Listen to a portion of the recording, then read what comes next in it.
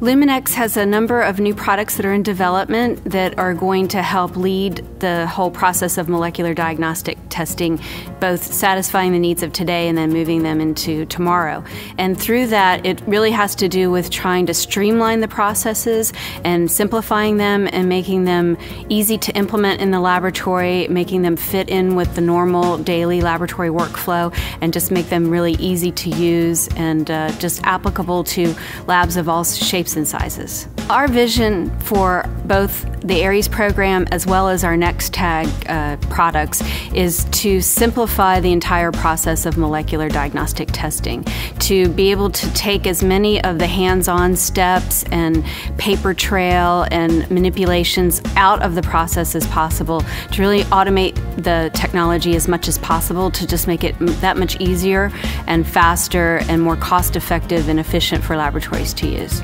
I think customer feedback is crucial in the development of a product. It's easy for a technology company to make something and say, oh, isn't this great? Isn't this neat? Let's find out who might want to use it. But it really is um, much more maybe difficult, but so much more important to say, what do people want? What do they need? And then say, let's go build that product today's molecular lab has a number of challenges. One is the um, consistently shrinking budgets. So maybe they're they're not getting any more funding, but yet they're being asked to do more. So do more with less. So hospitals and laboratories want to continue to provide the highest quality of diagnostic testing, but they want um, labs to be able to do that without an increased investment into the um, into the lab.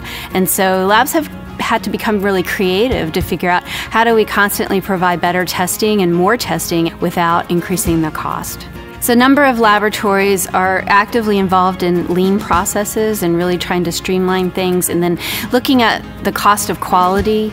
You know, where is their money being wasted because things aren't being done efficiently or mistakes are being made?